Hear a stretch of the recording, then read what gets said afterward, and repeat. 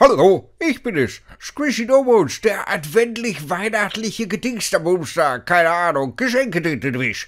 Ja, heute am 2. Dezember haben wir auch gleich ein ganz besonderes Schmankerl für euch. Ja, und äh, die Beschreibung, die ist so gut und so selbsterklärend, ich lese sie einfach mal vor.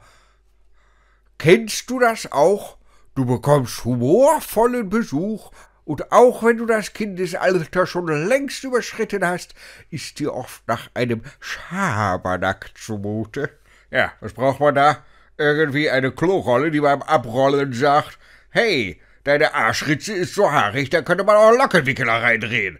Oder, Junge, mit so viel Klopapier kannst du dir glatt ein Schleifchen um diese riesengroßen, raushängenden Hämorrhoiden binden. So etwas, ne? Ja, es geht um die sprechende Klopapierrolle hier in diesem wunderschönen Beispiel, da wo man diesen Herrn, der äh, irgendwie, ja, quasi Geburtswehen da ablegt, sagt die Klorolle, wow, da hast du aber ein dickes Ei gelegt. Witzig, nicht?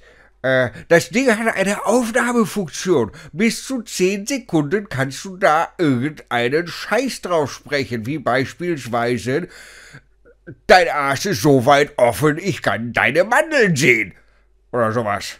Das ist doch toll! Das ist doch ultimativ der absolut allerbeste Schabernack, den man sich ausdenken kann. Wer braucht das nicht? Ich zitiere, sehr lustige die Idee auch als Geschenk.